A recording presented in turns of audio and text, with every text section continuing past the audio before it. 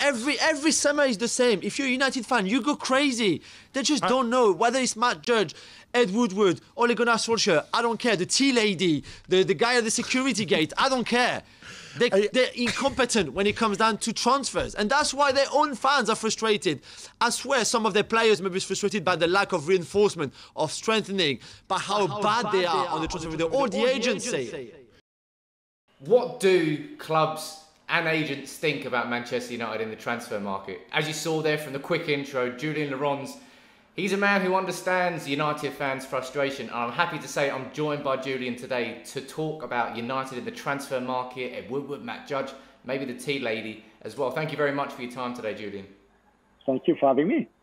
Man United fans have been frustrated for a long time at how our club acts in the transfer market, and it, it's strangely not really talked about too much in the wider press, but you spoke about it. Do, do you really feel that United fans are justified? to be frustrated at how the club has acted this summer and how the club has been acting for a long time in the transfer market?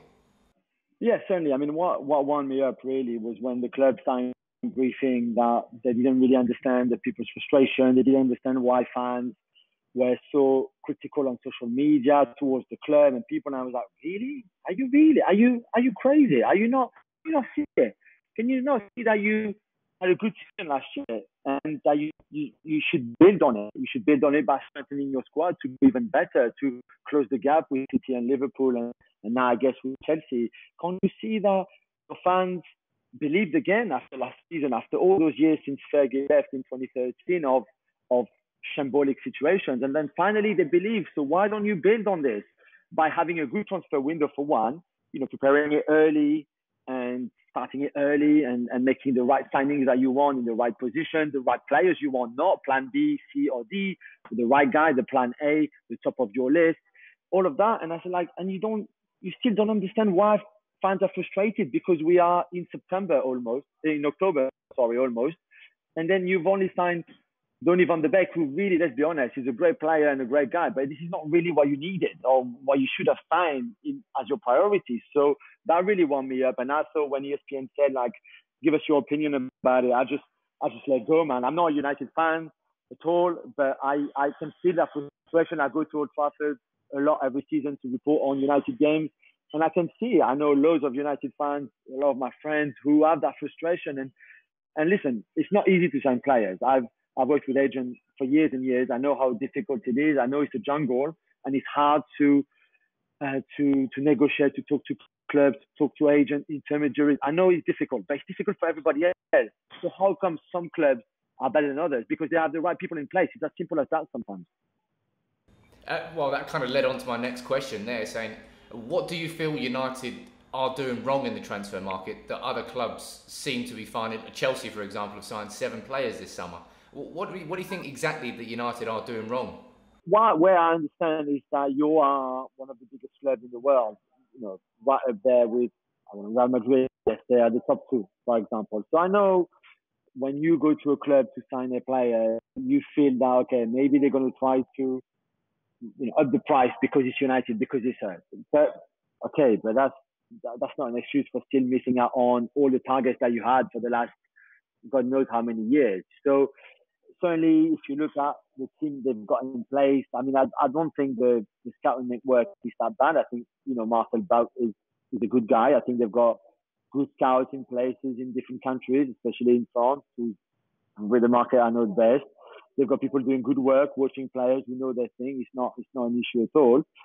So then you have to look at the people who try to make those transfers happening. And I don't know Matt Judge at all. I know of Matt Judge, and I certainly know people who have been in dealings with him, who've, who've negotiated with him, who've been in his company, and and a guy that worked for so long in finances and in banking industry, maybe maybe he still has a lot of things to learn in football to be able to to get the signings and the targets that he wants. I mean, I wouldn't go as far as what Patrice Evra, the story that he told in his uh, on on his social media the other day about you know people calling him saying that Matt doesn't pick up the phone. I don't know if he does. The people I know, they speak to him. I don't know if it's hard to get hold of him but certainly it should not be. But, but where I where I where I understand his position is that if you're United, you will have a lot of people calling you. If you're Edward Woodward, Matt Judge, or Marcel Bout again, you will have a lot of agents, a lot of people calling you to try to tell you good players, bad players, average players, very good players. That, that's that's what you know. That's what agents do. They, they call you and call you incessantly to try to sell you their players, even if that's not the position you're looking for, or you're not interested in the player, or the player is just not good enough. That so I know how it is for sporting director. Again, I've been in contact with a lot of them for many many years. I know how difficult it is, but you still need to you know you still need to do the job to your best of your ability, which is when you identify a target, you, you need to sign it. You can't be picky for two, three, four million pounds. You know, if you speak to Jude Bellingham, who is an incredible talent, and you know you're in competition with a club like Dortmund, you have to be able to convince him and his dad and his family that United is the right club for him instead of missing out again on a very, very talented player who then went for another club because he thought that was better for him than United. So certainly the people in place have to do a better job. I'm sorry, but at the end of the day, if you don't want to pay the price for a player or the release clause, or you don't find the right argument to convince Erling Haaland or Jude Bellingham to sign for your club, there's an issue there. I th- personally, I, I, clearly it's obvious that Matt Judge and Ed Woodward, as two previous investment bankers, shouldn't be working in the roles they're currently doing it, it, because they're not football men, as Patrice Evra said, as you're sort of alluding to there. Now, the thing I'm really interested in is you, you, you mentioned it there about agents and what do agents really think about United in the transfer market? Do they are we a sort of laughing stock in comparison to the likes of Chelsea and PSG? Uh, what do agents really feel when it comes to negotiating with United? Well, certainly, I, I, can't I can't talk for you know for every single agent. I, I don't know what Jorge Mendes thinks. I don't know what Mino Raiola thinks. But certainly, some of the agents that I deal with and I know, you know, finding difficult at times. I think there's there's an issue there about uh, the negotiating techniques. For example, there's there's there's stuff about um, you know when when United are interested in a player. I mean, you could see anyway how long it took for the Harry Maguire did to go through, how long it took for the Wan-Bissaka deal to go through. You know, all those deals that never happened when United were in a very strong position, and those deals should have happened. You know, this is one of the biggest clubs in the world. Players should queue to play for United. They should queue to play for a club like this. A bit like whatever I was saying, in the, in the sense that, you know, before when they were in for a player, it was it would happen like this. There would be no issue. There would be no problem, no snags, no delay, nothing like that. Certainly there is there is now, and and that's that's what I find the most baffling is you know I'm not I'm not saying Matt Judge and Ed Woodward are bad people. I, I, I you know maybe they just still have a lot of things to learn in football, but this is a very unusual setup. Let's be honest. There's not many other top top clubs where the key people who decide are not football people. You know, and, and we've talked a lot about United finally hiring a sporting director, for example, or director of football or anything like this, which is clearly very obviously missing there. And and yet they're not doing it. So I don't know why they're not doing it. I don't know it's because they can't find the right guy or because they, they don't trust someone in that kind of position, or would that be taking over or working on what Judge and Woodward are doing? I, I don't know what the issue is. Is it the Glazers who don't want one? Because you don't really, I don't know, they don't think it's a good idea. I don't know, because if you look at US sports, for example, where you think the Glazers have a template there, they all have a general manager who, you know, who does transfers and who's usually very good at what he, you know, who's been there before and worked in the industry, knows the industry inside out. They don't hire banking people to be GMs at an NBA club, for a franchise, for example.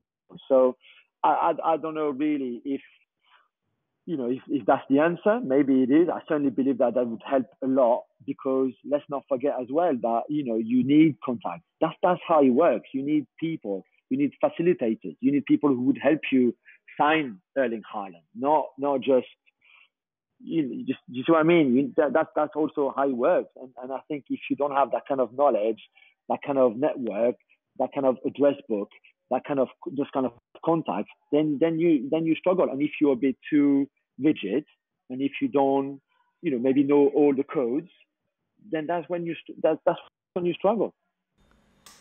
Now, United obviously were interested in Reguilón but didn't do it because of that buyback clause. And the left back we're looking at now is Alex Telles, who was also linked with PSG, but I think PSG are looking more towards Rudiger from Chelsea now. Uh, it was. Is there any chance that Telles goes to PSG instead of United this summer? Do you think?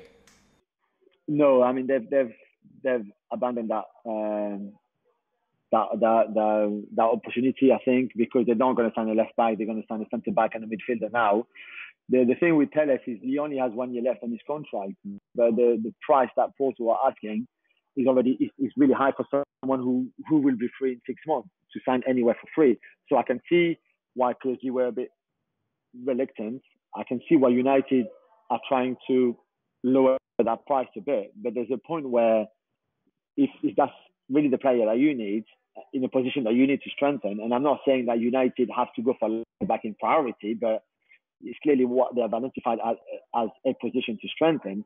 Sometimes you just have to bite the bullet and pay, let's say, 20 million pounds, even if someone is free in a year, and, and not trying at some point to go down to 16 or 17. You know, there's a point where, you know, this this is not a uh, this is not a, a, a, carpet business where you, you know you go in and say like oh come on let's do the carpet for you know 25 quid instead of 30 quid this is this is football. Of course it's difficult. Of course as we said before it's a jungle. And if Porto are adamant they want 20 million pounds for Alex Telles and you start going like oh what about 18 Porto are not going to make you a favor. They say well we don't care. We keep him for a year. He, you know he's one of our best players.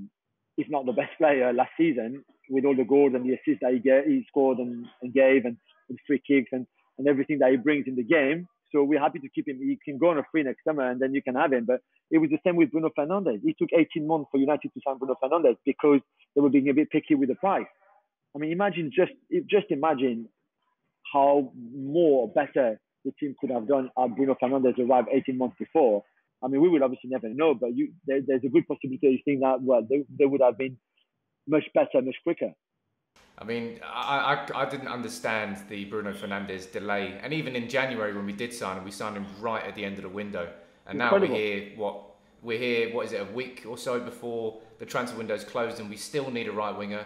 I think we still need a centre back and we probably still need a central midfielder as well, but we haven't signed any.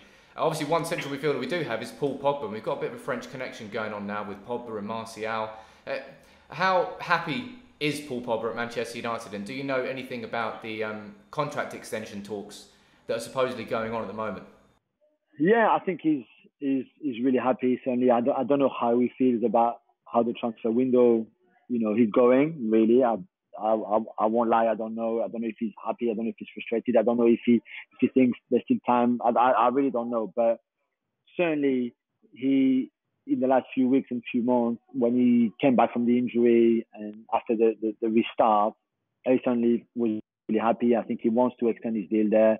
I think they will keep talking. Um, I, I cannot see why they would not find an agreement with Paul Pogba. I don't know why the club would not want to to to see him renewing that deal and signing the new contract. So I'm I'm really optimistic. I think he is. I know it's not easy to deal with Mino Raiola, uh, especially when it comes to, to Paul Pogba. But I, I can't see why this one could not happen unless they ask for crazy money, which I don't think they will.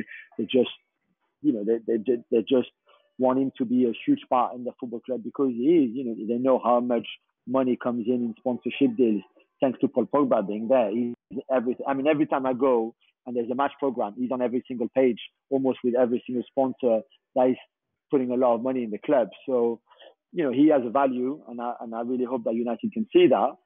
And and and with Martial, it's very similar. There was a time where he was really unhappy under Jose Mourinho, really really unhappy, and now it's a completely different man and a completely different player. I think his private life, um, he's so happy in his private life that you could see on the page. He had his best season, the best season of his career last year, and and I thought he was fantastic at time. And I, I just think there, there's no limit for the talent that he has. And we could see that when he was 15, he was already so good. It's just maybe, and like others, it took him a bit more time. He had to be a bit more mature. There was a few issues there and there, and it was a big move. Let's not forget when he was so young and very quite inexperienced at the time. So I really expect Martial to kick on from last season and have an, an even better season this year. Well, I hope so as well because that was his best season, and you're right. His ceiling is just so high, and he's he's clearly nowhere near his peak yet, and that is exciting for United fans. And it would be nice if he had Jadon Sancho to play alongside him, but of by course. the looks of things, by the looks of things, that's not happening. But thanks very much for your time today, Julien. It's, it's really, as I said at the start of the video, it's really good to see yourself speaking on ESPN, speaking about United fans' frustrations and why they're justified because we don't feel it, it's getting enough airtime, I suppose, when uh, other fans of other clubs can look at us and say, look, you've spent nearly a billion since Sir Alex Ferguson retired. You have nothing to complain about. But the reality is a lot of that money was wasted uh, and a lot of the transfer negotiations at the club are just drawn out when they don't need to be. It's painful when it doesn't need to be, uh, and hopefully that will change. But the reality is, it it, it probably won't because. uh, Unfortunately, United, it all comes down to the Glazers' ownership, and it comes down to what works for them and what they want. It doesn't really match what the fans want, and, that's an unfortunate reality for United fans. No, you're right, and and I really know what I really hope that Ed Woodward and Matt Judge become good in a way. You know that they can they can they can. I think United deserve that. They deserve to have a good leadership at the at the top of the pyramid. You know, people who run that club that you don't miss out on Jude Bellingham or Erling Haaland or Gabriel or Reguilon. That you know because United deserves to be you know, to have those top players that they they're aiming at and they're targeting, not missing out on them. And I really think, I really hope that things improve and that I don't know, they learn, they they improve, they, there's a progression there. Maybe they employ a few more people around them to help them. I don't know anything, because that's what United fans deserve. That's what I think the club deserves. And what the current team and Ole Gunnar Solskjaer, I started my, that little video for ESPN saying, you know, I would understand if Solskjaer was frustrated because if you're a manager and you've had the, the season that you had last year that was quite positive in many respects and you want to build on it, it's difficult if if you're not getting the players that you want or the players that you need. We we knew there was a problem in the depth of the squad last season because after restart, all the play, the same players kept playing and playing and playing, and and yet nothing has been done for that depth in the squad at all, apart from Van der Beek. So I really hope people come good at the club because you have to have a great leadership to be able to go back to the top like you were before. I really hope you're right. Every United fan hopes you're right. Thanks very much, as I said, for your time today, Julien. Uh, make sure you follow Julien over My pleasure. on Twitter. Anytime. Anytime. Well, hopefully we'll have you on again, and maybe it's after we've made a signing, but maybe not. we'll see, man.